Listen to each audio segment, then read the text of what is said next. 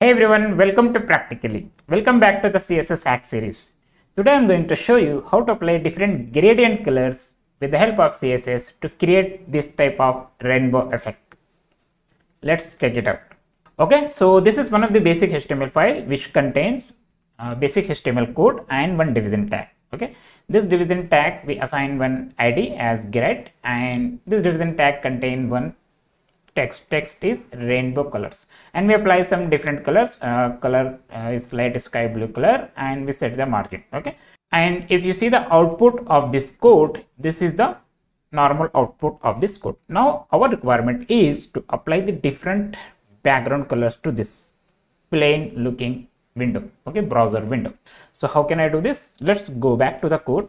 And here we have to select this division tag with the help of id selector okay? So how to select this id selector can be selected using hash. Okay? Write hash and the name of the id is grad okay?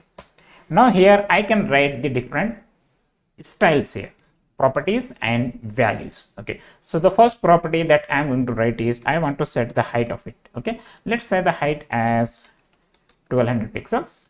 Okay?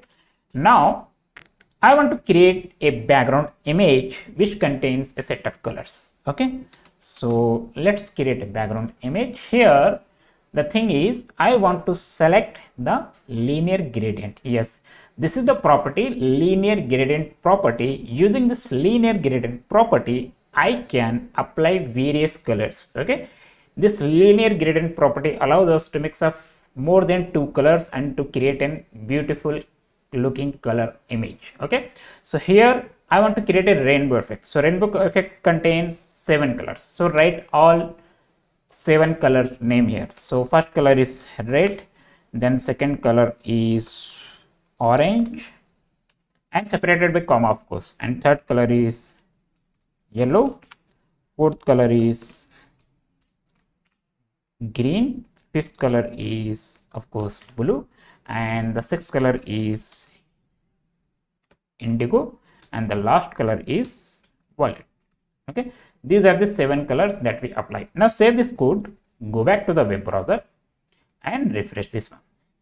Just reload. Yeah. We got the rainbow effect. Okay. So by default it is appearing from the top to the bottom side. Okay. So it is looking very cool. Now i want to apply this rainbow colors starting from the left side and it will go to the right side. So let's change it. Go back to the code and write here at the beginning. Beginning of the colors name. To right. Sorry. Yeah. To right. And give a comma here of course. Now save this one. Go back to the browser and reload it. See now the colors will start from the left side and it will go to the right side. Okay? If you want to apply colors in in the diagonal shape. Then you can do this okay? Then to bottom right. Now save this one and reload this. See now the colors are appearing from in the diagonal form okay? It is starting from the top left corner and going to the bottom right corner in the diagonal shape. It's cool idea no? to know more such amazing css hacks download the practically app and register for a free trial Thank you. Bring learning alive practically